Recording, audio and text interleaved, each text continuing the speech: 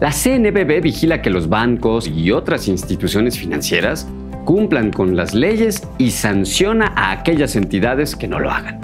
Y además publica en su página de internet todas las sanciones que impone para que estemos enterados de cuál institución ha incumplido con alguna de las reglas.